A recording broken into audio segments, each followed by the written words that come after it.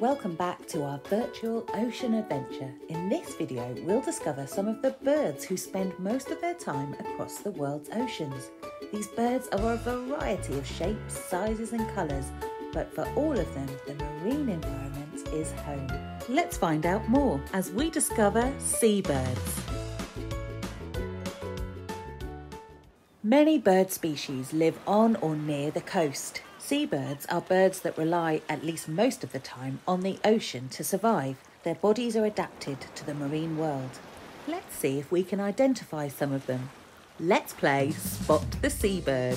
Can you match the description with the picture? Which is an Arctic tern? The body and wings of the Arctic tern are white and they have a black cap on their heads.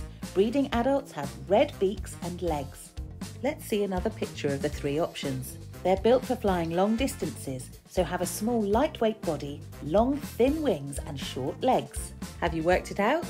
Yes, this is the Arctic tern. Because they travel across different oceans and continents as part of their migration routes, they're found in many places, including northern England and Scotland.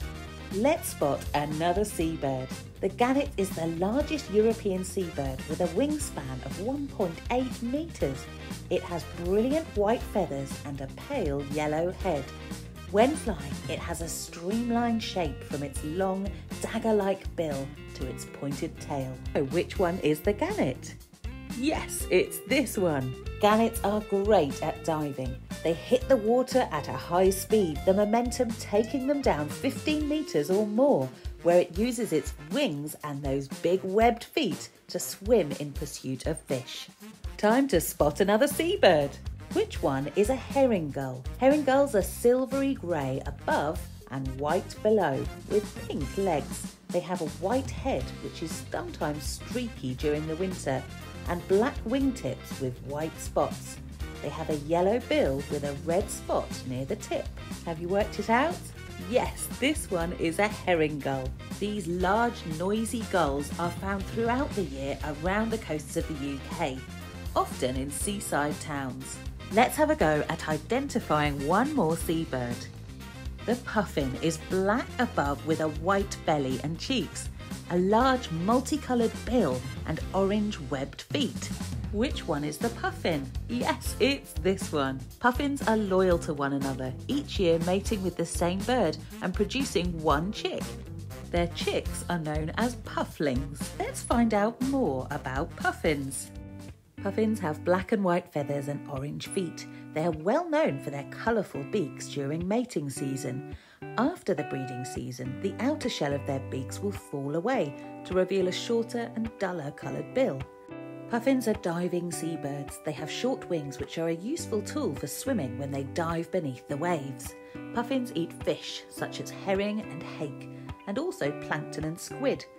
They dive underwater to catch fish and can stay there for up to one minute before returning to the cliff, holding several fish in their beaks at once.